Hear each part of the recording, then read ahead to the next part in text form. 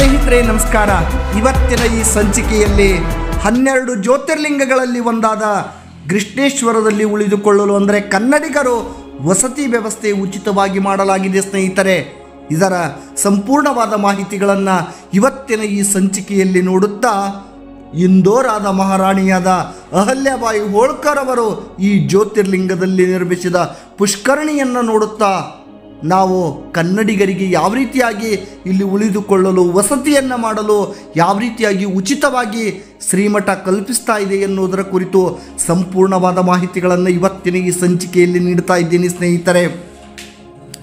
ಬಾರ ಜ್ಯೋತಿರ್ಲಿಂಗಗಳಲ್ಲಿ ಒಂದಾದ ಕೃಷ್ಣೇಶ್ವರ ಹಿಂದೂಗಳ ಪಾಲಿಗೆ ಪವಿತ್ರವಾದಂತಹ ಯಾತ್ರಾ ಸ್ಥಳ ಯಾತ್ರಿಕರಾದವರು, ಪ್ರಯಾಣಿಕರಾದವರು ಈ ಕೃಷ್ಣೇಶ್ವರಕ್ಕೆ ಬಂದಾಗ ಜ್ಯೋತಿರ್ಲಿಂಗ ದರ್ಶನ ಮಾಡುವುದಷ್ಟೇ ಅಲ್ಲ, ಇಲ್ಲಿ ಎಲ್ಲೋರಾದ ಐತಿಹಾಸಿಕ ಗುಹಾಂತರ ದೇವಾಲಯಗಳು ಕೂಡ ಕೃಷ್ಣೇಶ್ವರ ಜ್ಯೋತಿರ್ಲಿಂಗದ ಹತ್ತಿರದಲ್ಲೇ ಇರುವುದರಿಂದ ಪ್ರತಿನಿತ್ಯವೂ ಕೂಡ ಲಕ್ಷಾಂತರ ಜನರು, ಯಾತ್ರಿಕರು ಇಲ್ಲಿ ಬಂದು ಈ ಒಂದು ಸುಂದರವಾದಂಥ ವಾತಾವರಣದಲ್ಲಿ ಈ ಒಂದು ಎಲ್ಲೋರಾದ ಕೈಲಾಸನಾಥ ದೇವಾಲಯ ಹಾಗೂ ಸಂಪೂರ್ಣ ಗುಹಾಂತರ ದೇವಾಲಯಗಳನ್ನು ನೋಡುತ್ತಾ ಜ್ಯೋತಿರ್ಲಿಂಗ ದರ್ಶನವನ್ನು ಮಾಡಿ ಕನ್ನಡಿಗರಿಗೆ ಉಳಿದುಕೊಳ್ಳಲು ವ್ಯವಸ್ಥೆಯನ್ನು ಕಲ್ಪಿಸಲಾಗಿದೆ, ಸ್ನೇಹಿತರೆ. ಈ ಜ್ಯೋತಿರ್ಲಿಂಗದಲ್ಲಿ ಕನ್ನಡಿಗರಿಗೆ ವಿಶೇ, ವಿಶೇಷವಾಗಿ ಉಳಿದುಕೊಳ್ಳಲು ವ್ಯವಸ್ಥೆಯನ್ನು ಯಾವ ಸ್ಥಳದಲ್ಲಿ ಕಲ್ಪಿಸಲಾಗಿದೆ, ಯಾವ ಸ್ಥಳದಲ್ಲಿ ಯಾರು ಕನ್ನಡಿಗರಿಗೆ ಇಂಥ ಸುಂದರವಾಗಿ ಉಳಿದುಕೊಳ್ಳಲು ವ್ಯವಸ್ಥೆಯನ್ನು ಮಾಡಿದ್ದಾರೆ ಎನ್ನುವುದನ್ನು ತಿಳಿದುಕೊಳ್ಳುವುದಾದರೆ, ಸ್ನೇಹಿತರೆ, ಕನ್ನಡ, ಕರ್ನಾಟಕ, ಇದು ಸಂತರ ಭೂಮಿ.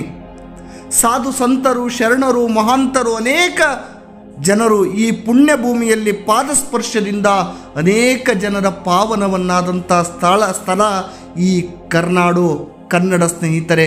ಅಂತೆಯೇ ದತ್ತನ ಪವಿತ್ರವಾದ ಸ್ಥಳ ಗಾಣಗಾಪುರ. ನಾವು ಈ ಕೃಷ್ಣೇಶ್ವರಕ್ಕೆ ಹೋದಾಗ, ಜ್ಯೋತಿರ್ಲಿಂಗ ದರ್ಶನಕ್ಕೆ ಹೋದಾಗ, ನಾನು ಕೂಡ ಈ ಕೃಷ್ಣೇಶ್ವರ, ಎಲ್ಲೋರ ಎರಡು ಬಾರಿ ಜ್ಯೋತಿರ್ಲಿಂಗ ದರ್ಶನವನ್ನು ಮಾಡುವ ಸಂದರ್ಭದಲ್ಲಿಯೂ ಕೂಡ ಇಲ್ಲಿ ವಸತಿಯನ್ನು ಮಾಡಲು ಈ ಸ್ಥಳಕ್ಕೆ ಬರ್ತಿದ್ದೀವಿ ಸ್ನೇಹಿತರೆ.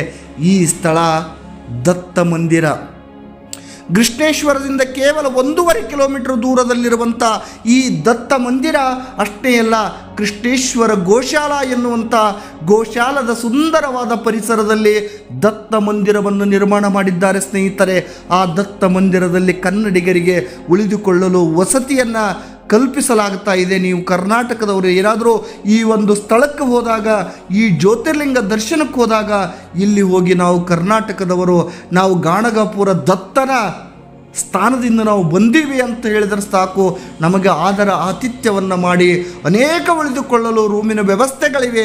ಅದರಲ್ಲಿ ನಮಗೆ ಉಳಿದುಕೊಳ್ಳಲು ವ್ಯವಸ್ಥೆಯನ್ನು ಕಲ್ಪಿಸಲಾಗ್ತಾ ಇದೆ ಸ್ನೇಹಿತರೆ. ದತ್ತಾತ್ರೇಯನ ಕ್ಷೇತ್ರದಿಂದ ನೀವು ಬಂದಿರಿ. ನಮ್ಮ ಹಿಂದಿನ ಮಹಾಂತ ಶರಣರು ಅಂದರೆ ನಮ್ಮ ಹಿಂದಿನ ಸತ್ಪುರುಷರು ನಾವಿರುವುದಕ್ಕಿಂತ ಹಿಂದೆ ಆದಂಥ ಯತಿಗಳು. ಗಾಣಗಾಪುರದ ದತ್ತ ಮಂದಿರದ ಗಾಣಗಾಪುರದಲ್ಲಿ ತಪಸ್ಸನ್ನು ಆಚರಿಸಿ ಪರಮ ಪವಿತ್ರವಾದ ಸ್ಥಳದಲ್ಲಿ, ಪಾವನ ಸ್ಥಳದಲ್ಲಿ ತಪಸ್ಸನ್ನು ಆಚರಿಸಿ ಸುಮಾರು ಮೂರು ತಿಂಗಳ ಕಾಲ ಗಾಣಗಾಪುರದಲ್ಲಿ ವಸತಿಯನ್ನು ಇದ್ದು ಬಂದಂಥವರು ನಮ್ಮ ಹಿಂದಿನ ಯತಿಗಳು ಅಂತ ಗುರುಗಳು ಹೇಳ್ತಾ ಇದ್ದಾರೆ ಸ್ನೇಹಿತರೆ. ಆ ಒಂದು ಗಾಣಗಾಪುರದ ದತ್ತಾತ್ರೇಯ ಅನುಗ್ರಹದಿಂದ ನಾವು ಈ ಸ್ಥಳದಲ್ಲಿ ಬಂದು ನಾವೆಲ್ಲ ಇಲ್ಲಿಯವರೇ ನಾವು ಎಲ್ಲೋರಾದ ಈ ಒಂದು ಕೃಷ್ಣೇಶ್ವರ ಸ್ಥಾನದವರೇ ನಾವು, ಆದರೆ ನಮ್ಮ ಯತಿಗಳು ಹೋಗಿ ಕರ್ನಾಟಕದ ಕಲಬುರಗಿ ಜಿಲ್ಲೆಯ ಗಾಣಗಾಪುರದ ದತ್ತ ಮಂದಿರದಲ್ಲಿ ಮೂರು ತಿಂಗಳ ಕಾಲ ಸತತವಾಗಿ ತಪಸ್ಸನ್ನು ಆಚರಿಸಿ ಬಂದಿರುವುದರಿಂದ ನಾವು ಇಲ್ಲಿ ಒಂದು ಗೋಶಾಲೆಯನ್ನು ಮಾಡಿದ್ದೇವೆ. ಅಷ್ಟೇ ಅಲ್ಲ, ಇಲ್ಲಿ ಉಳಿದುಕೊಳ್ಳಲು ಸುಸಜ್ಜಿತವಾದ ವ್ಯವಸ್ಥೆಯನ್ನು ಕೂಡ ನಾವು ಕಲ್ಪಿಸಿದ್ದೇವೆ. ಯಾರಾದರೂ ಯಾತ್ರಿಕರು ಬಂದರೆ ಅದರಲ್ಲೂ ಕೂಡ ಕನ್ನಡ ನಾಡಿನಿಂದ, ಕರುನಾಡಿನಿಂದ, ಕರ್ನಾಟಕದಿಂದ ಯಾರಾದರೂ ಬಂದರೆ ಸಾಕ್ಷಾತ್ ದತ್ತನೇ ದತ್ತನ ಅವತಾರಿಗಳು ಇಲ್ಲಿ ಬಂದಾರ.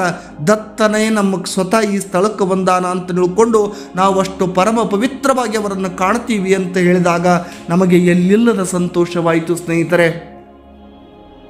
ಹನ್ನೆರಡು ಜ್ಯೋತಿರ್ಲಿಂಗಗಳಲ್ಲಿ ಒಂದಾದ ಕೃಷ್ಣೇಶ್ವರದಲ್ಲಿ ಕನ್ನಡಿಗರಿಗೆ ಇಷ್ಟು ರೀತಿಯ ವ್ಯವಸ್ಥಿತವಾದ ವಸ ವಸತಿ ವ್ಯವಸ್ಥೆಯನ್ನು ಮಾಡುವುದಲ್ಲ, ಅಷ್ಟೇ ಅಲ್ಲದೆ ಇಲ್ಲಿ ಸುಂದರವಾದ ಗೋಶಾಲಗಳಿವೆ. ಈ ಗೋಶಾಲದ ಗೋವುಗಳನ್ನು ನಾವು ನೋಡುವಂಥ ಸಂದರ್ಭದಲ್ಲಿ ಎರಡು ದಿನಗಳ ಪರ್ಯಂತರವೂ ಕೂಡ ನಾವು ಅಲ್ಲಿ ಇದ್ದಾಗ ನಾವು ಹೋಗುವಂಥ ಸಂದರ್ಭದಲ್ಲಿ ವಸತಿಗಾಗಿ ಏನಾದರೂ ಡೊನೇಷನ್ ಅಥವಾ ಏನಾದರೂ ಕೊಡ್ಬೋದಾ ಅಂತ ಕೇಳಿದಾಗ ಅಲ್ಲಿದ್ದ ಯಾತ್ರಿಕರು, ಅಲ್ಲಿದ್ದ ವ್ಯವಸ್ಥಿಕರು ಒಂದೇ ಒಂದು ಮಾತು ಹೇಳಿದರು.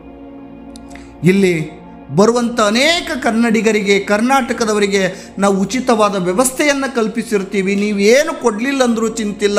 ಯಾವುದೇ ರೀತಿಯ ಹಣವನ್ನು ಕೊಡಲಿಲ್ಲ ಅಂದರೂ ಸಾಕ್ಷಾತ್ ದತ್ತನ ಅವತಾರಿಗಳನ್ನು ತಿಳ್ಕೊಂಡು ನಾವು ನಿಮಗೆ ನಿಮ್ಮಲ್ಲಿ ದತ್ತನನ್ನೇ ಕಾಣಿಸ್ತೀವಿ ಅಂತ ಹೇಳಿದಾಗ ಮನಸ್ಸು ತುಂಬಿ ಬಂತು ಸ್ನೇಹಿತರೆ. ಆದರೂ ಕೂಡ ಅಲ್ಲಿದ್ದ ಗೋವುಗಳನ್ನು ನೋಡಿ ಗೋಶಾಲದ ಅನುಕೂಲಕ್ಕಾಗಿ, ಗೋವುಗಳ ಸೇವೆಗಾಗಿ ನಮ್ಮಲ್ಲಿದ್ದ ಕಾಣಿಕೆಗಳನ್ನು ಆ ಸ್ಥಳಕ್ಕೆ ಸಲ್ಲಿಸಿ ನಾವು ಮುಂದಿನ ಯಾತ್ರೆಯನ್ನು ಹೊರ- ಹೊರಟಿವೆ ಸ್ನೇಹಿತರೆ.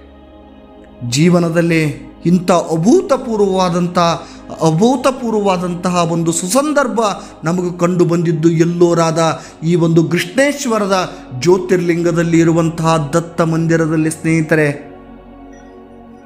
ಯಾತ್ರಿಕರಾಗಿ ಅನೇಕ ಜ್ಯೋತಿರ್ಲಿಂಗಗಳನ್ನು ನೋಡುವಂಥ ಸಂದರ್ಭದಲ್ಲಿ ಯಾರಾದರೂ ಈ ಒಂದು ಹನ್ನೆರಡು ಜ್ಯೋತಿರ್ಲಿಂಗಗಳಲ್ಲಿ ಒಂದಾಗಿರುವಂಥ ಈ ಕೃಷ್ಣೇಶ್ವರ ಸ್ಥಾನಕ್ಕೆ ಬಂದಾಗ ಅಲ್ಲೇ ಹತ್ತಿರದಲ್ಲೇ ಒಂದೂವರೆ ಕಿಲೋಮೀಟರ್ ದೂರದಲ್ಲಿ ಇರುವಂಥ ಈ ಒಂದು ದತ್ತ ಮಂದಿರದಲ್ಲಿ ವಸತಿಗೆ ಸುಂದರವಾದ ವ್ಯವಸ್ಥೆಯನ್ನು ಕಲ್ಪಿಸಿರುತ್ತಾರೆ. ಅಷ್ಟೇ ಅಲ್ಲ ಯಥ ಗೋಶಾಲಗಳಿವೆ, ಎದುರಿಗೆ ಸುಂದರವಾದ ವಾತಾವರಣ ಗುಡ್ಡದ ಮೇಲೆ ಅನೇಕ ಜೈನ ಮಂದಿರಗಳು ಕೂಡ ನಮಗೆ ಕಣ್ಣಿಗೆ ಕಾಣಿಸ್ತಾ ಇದೆ. ಸುಂದರವಾದ ವಾತಾವರಣವಲ್ಲಿ ವಸತಿಯನ್ನು ವ್ಯವಸ್ಥೆಯನ್ನು ಮಾಡಿರುವ ಈ ಜ್ಯೋತಿರ್ಲಿಂಗದಲ್ಲಿ ಕನ್ನಡಿಗರ ಸೌಭಾಗ್ಯವೇ ಎನ್ನುವಂಥ ಮಾತುಗಳನ್ನು ಹೇಳ್ತಾ ಯಾರಾದರೂ ಯಾತ್ರಿಕರು ಆ ಸ್ಥಳಕ್ಕೆ ಹೋದಾಗ ಅಲ್ಲಿ ವಸತಿಗೆ ವ್ಯವಸ್ಥೆ ಇದೆ ಎನ್ನುವಂಥ ಕಾರಣದಿಂದ ನಾನು ಈ ವಿಡಿಯೋವನ್ನು ಮಾಡ್ತಾ ಇದ್ದೀನಿ ಸ್ನೇಹಿತರೆ.